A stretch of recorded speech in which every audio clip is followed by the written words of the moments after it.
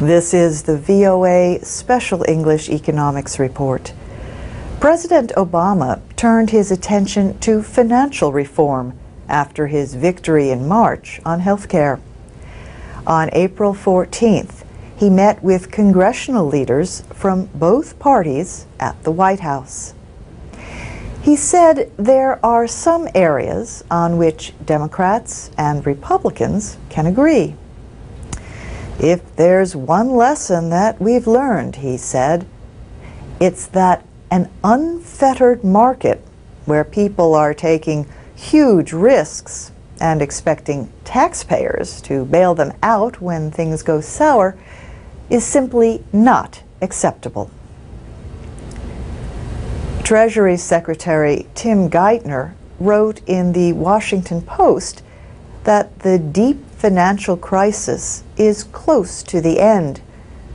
But he said the nation must not forget the near collapse of the banking system in 2008 without fixing the causes.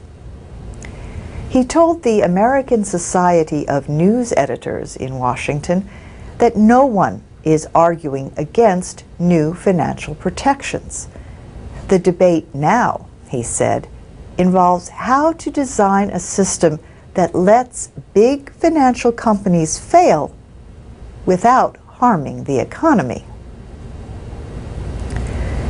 In December, the House of Representatives passed the Wall Street Reform and Consumer Protection Act.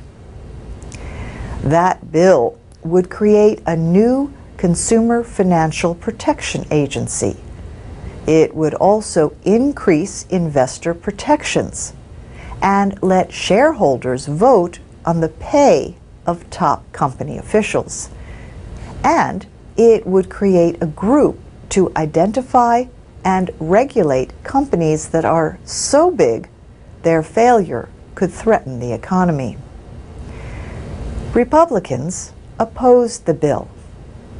That was also true in March when the Senate Banking Committee approved its own version. That bill would not create an independent consumer agency, but instead a new office at the Federal Reserve, the central bank. Senate Minority Leader Mitch McConnell of Kentucky said the bill would make future bailouts more likely, not less likely. Both measures in Congress call for a system to supervise derivatives. These contracts are used for different purposes, including investment and protecting against loss. The largely unregulated market in derivatives is estimated at $600 trillion. Government rescues of banks considered too big to fail angered the public and helped fuel a conservative movement.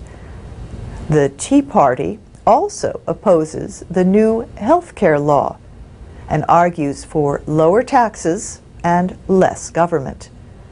On April 15th, they protested to mark Tax Day, when Americans have to pay any federal taxes they owe.